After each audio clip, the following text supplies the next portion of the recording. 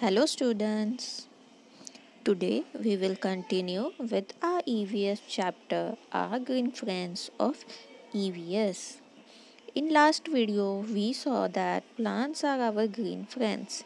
We call them our friends because they give us many useful things. Plants are also living things like us. They also need food, air and water to live. We saw that some plants are small and some plants are big. We also saw the various picture of the plants. In today's video, we will see that plants also have different body parts like us, but they are different from the body parts of animal, birds and human beings. Now let us see the different parts of the plant. Parts of a plant. A plant has many different parts that perform various functions. The two main parts of a plant are roots and shoots. A plant has root, stem, leaves, flower and fruits. These all are the parts of a plant. Roots usually grow under the ground while shoot usually grow above the ground. Stem is the stalk of a plant.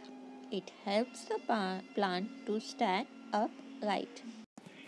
Stem carries water, and mineral from the root to the leaf and carries the food prepared by the leaf to the different parts of the plants. Leaves grow on the stem and branches.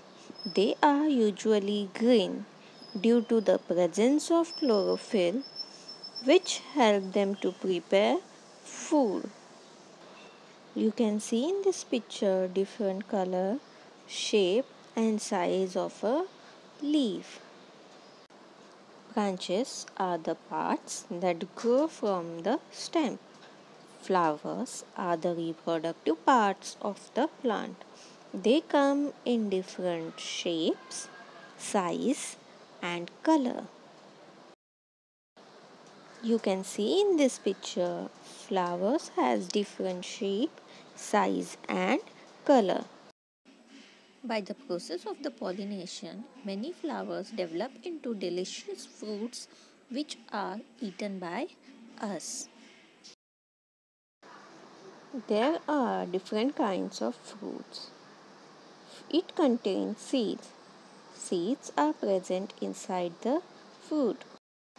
You can see in this picture different kinds of fruits and their seeds.